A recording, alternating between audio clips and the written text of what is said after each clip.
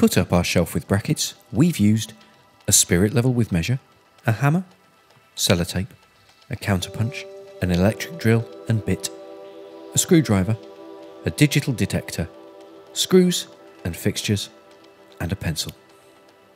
First, find out what kind of wall you're planning to attach to. It might be plasterboard or drywall, or it could be masonry. This will dictate the weight of the shelf you plan to hang and the fixings you'll need.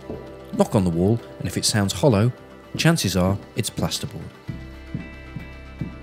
Choose your shelf style and fixtures. A lightweight shelf for pictures or plants should be fine on all types of wall, but a heavy shelf load such as a large bookshelf isn't suitable for plasterboard walls. Check your wall for pipes and cables using a digital detector and ensure that the area you're planning to fix to is safe.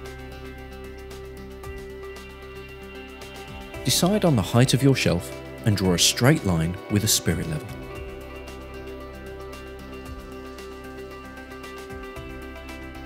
Place your first bracket on the wall at the correct height.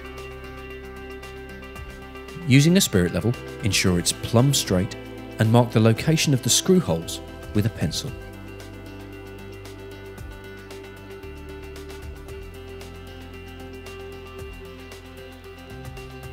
Using a counterpunch, tap a small dent into the centre of the hole you plan to drill.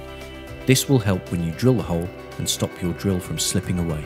Place a small strip of sellotape over the drill point. This will help prevent the paintwork or wallpaper from cracking, tearing or flaking when you do the drilling. We're using two different fixings to demonstrate two different options that you might be able to use. We're using a Plasplug sprung fixing on the top hole and a worm style wall plug on the bottom hole. Mark the length of your wall fixing on your drill bit with a piece of tape. This will help prevent you pushing the drill too deep into the wall.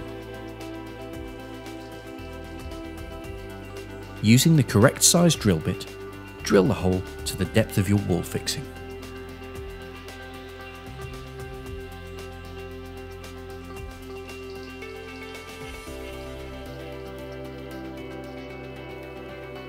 Push or screw your chosen fixing into the wall.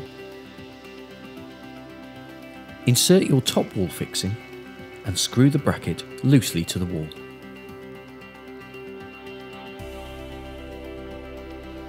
Double checking the bracket is plumb straight, ensure your lower screw hole is correct. Then swivel the bracket out of the way and attach the bottom fixing.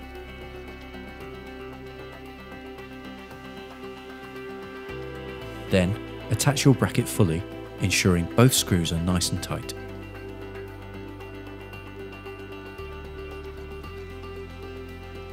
Balance the shelf on top of the fixed bracket with a spirit level on top. Underneath, take the second bracket and move it into position, ensuring the spirit level shows the shelf is level. Ensure your overhang is roughly the same on both sides and mark the fixture points on the second bracket with a pencil.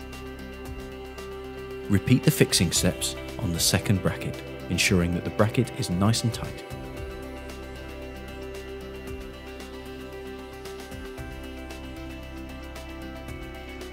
Place the shelf on top of the fixed brackets and ensure it's centred with the same overhang on both sides. You'll need a tape measure or ruler for this. Mark the holes on the shelf from below and then drill pilot holes with a small drill bit, making sure not to go all the way through the shelf.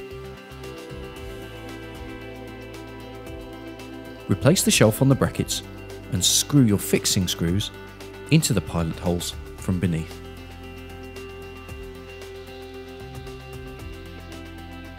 Check your shelf is nice and secure and then style it however you wish.